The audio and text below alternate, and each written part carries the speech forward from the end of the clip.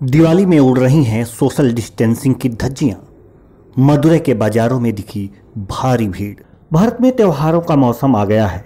लोग बाजारों की ओर खरीदारी करने चल पड़े हैं, जिससे कि कोरोना काल में सोशल डिस्टेंसिंग की धज्जियाँ उड़ती दिखाई दे रही हैं। कुछ ऐसा ही नज़ारा तमिलनाडु के मदुरै के बाजारों में देखने को मिला।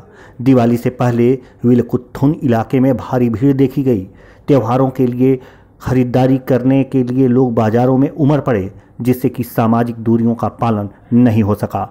यह दृश्य बताने के लिए काफ़ी है कि कोरोना काल में दिवाली की इस तरह की खरीदारी कहीं महँगी न पड़ जाए। Special desk, TV one India. Latest update और खबरों के लिए टीवी वन इंडिया को सब्सक्राइब करें और नोटिफिकेशन पाने के लिए बेल आइकॉन को दबाना मत भूलें।